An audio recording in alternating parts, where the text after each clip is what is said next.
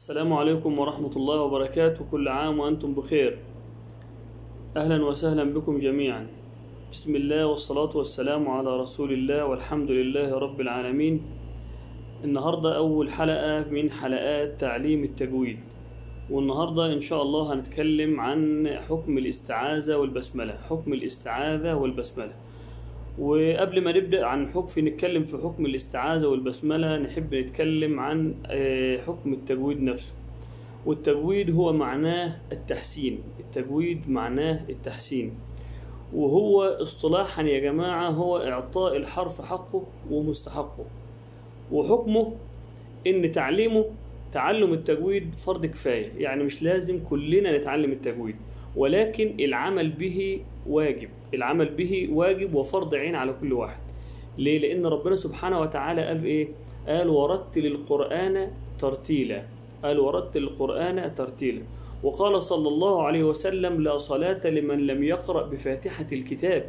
يعني لا صلاة لمن لم يقرأ بفاتحة الكتاب صحيحة على الوجه الصحيح.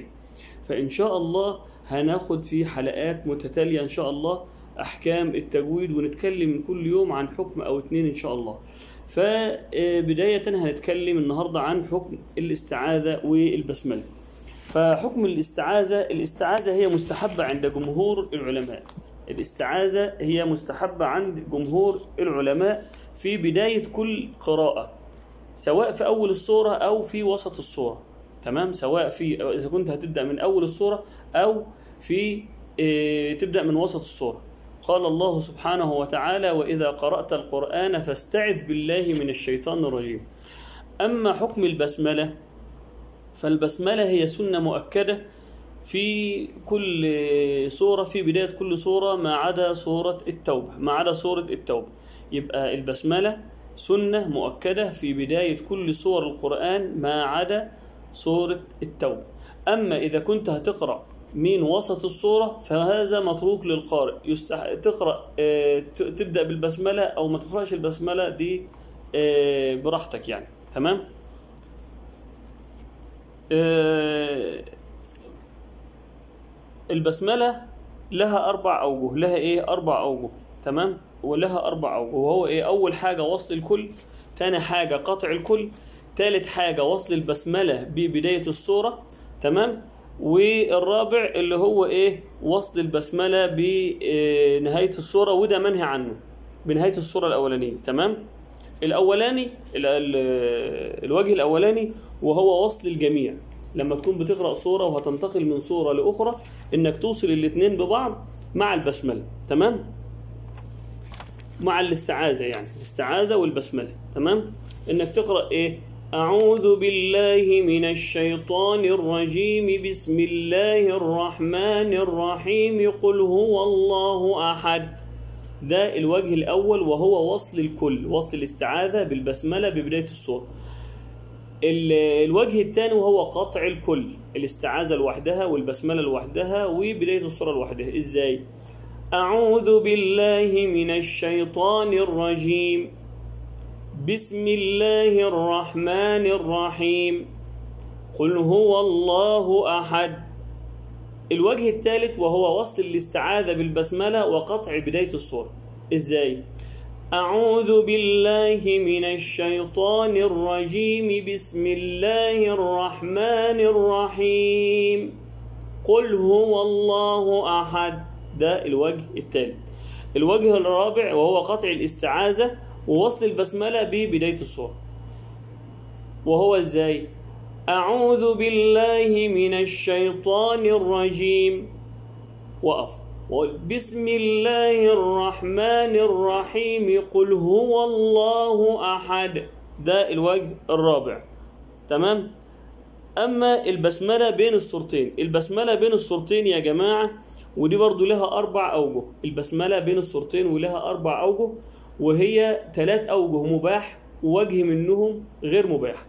زي ما قلنا إنك توصل نهاية الصورة الأولى بالبسملة ببداية الصورة وده مباح. إنك توصل البسملة ببداية الصورة وده مباح. إنك تقف عند كل حاجة فيهم وده مباح.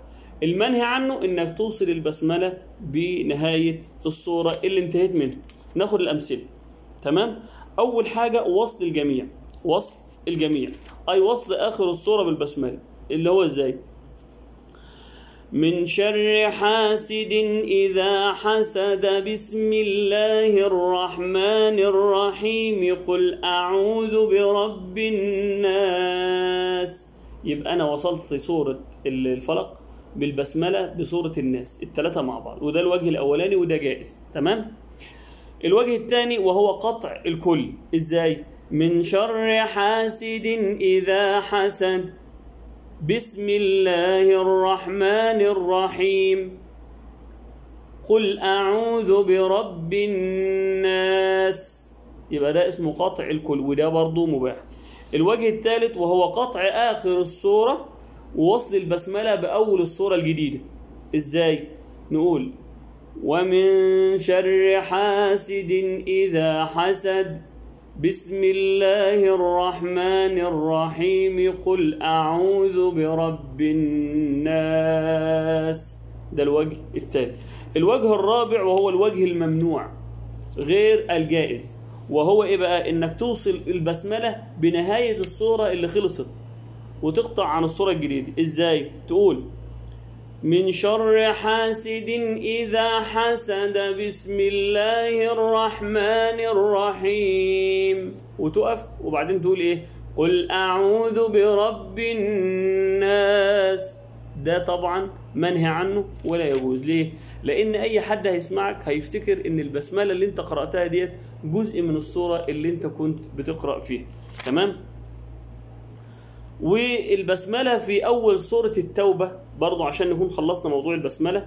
البسملة في أول سورة التوبة طبعا يكفي القارئ إن هو يستعيذ. سورة التوبة ما فيش فيها بسملة فيكفي إنك تستعيذ فقط. تمام؟ وأما إذا هتوصلها بالصورة اللي قبلها اللي هي سورة الأنفال فلك ثلاث خيارات. لك إيه؟ ثلاث خيارات. وهو وصل سورة الأنفال بسورة التوبة تمام؟ بنفس واحد مع البسملة بنفس واحد تمام؟ وهو إيه؟ بنفس واحد مع إيه البسملة. بدون بدون بسملة يعني بدون بسملة تقول إيه؟ إن الله بكل شيء عليم براءة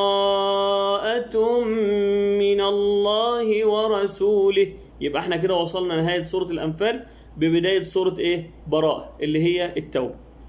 والوجه الثاني اللي هو السكت بينهم بمقدار حركتين تمام؟ يعني زي سكتة لطفية كده. نقول إيه؟ إن الله بكل شيء عليم. براءة من الله ورسوله. الوجه الثالث وهو الوقف بينهما بنفس. تقول إيه؟ إن الله بكل شيء عليم. براءة من الله ورسوله. يبقى دول الثلاث أوجه في حالة إن إحنا نوصل سورة الأنفال بسورة التوبة. وأتمنى إن يكون الفيديو عجبكم ونتقابل إن شاء الله في حلقة جديدة من حلقات أحكام التجويد. والسلام عليكم ورحمة الله وبركاته.